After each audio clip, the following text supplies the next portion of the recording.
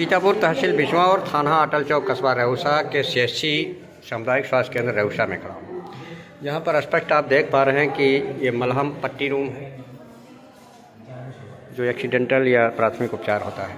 और यहाँ पर सामने तस्वीरें दिख रही हैं और दो लोग भर्ती भी हैं। पूरी जानकारी लेते हैं, उनके साथ में परिजन भी यहाँ पे हैं। साथ में परिजन भी हैं, पूरी जानकारी लेते हैं। सड़क हादसे में जख्मी हुए हैं, जैसा कि जानकारी में आया है, पूरी बात करते हैं। पहले दिखाते हैं जख्मियों को पूरी तरीके से।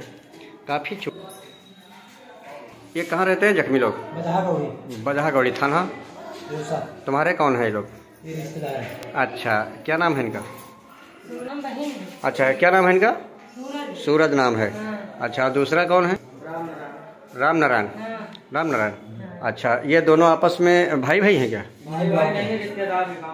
रिश्ते में क्या लगते हैं? कौन? किसके लड़के हैं वो? राम नारायण। राम किसके लड़के हैं? सियाराम। सिया राम के। कहाँ के? गौड़ी थाना कौन लगा? अच्छा अच्छा अच्छा। क्या नाम है भैया आपका? सूरज। पिताजी का? शत्रुघ्न। या तो? अच्छा गौड़ी में रहते हो बजहा? कहाँ जा रहे थे आप लोग? आ रहे थे हम उड़ीसा रविसा कई लोग सवार थे? दो। और साथ में कौन था? वो राम नारायण। राम नारायण। टीका लड़का है? सियाराम का। वो कहाँ का है? हमारे गाँव का है। गौ- गौड़ी बजा का? हाँ। अच्छा। फिर कैसे क्या हुआ? मैं उधर से आ रहा था। रविसा उड़ीसा की हम्म, तरफ़। हम्म, और टंकी के पास पहुँचा तब छोटा हाथी। हम्म। एक आया गया दूसरा आया टक्कर मार। वो किधर से किधर जा रहा था छोटा वो मारू बेड़ से रस्सा की तरफ़ आ रहा था। और मैं भी मारू बेड़ की तरफ़ से रस्सा एक ही दिशा में आ रहे थे। हाँ। फिर? मेरी गाड़ी स्लो थी।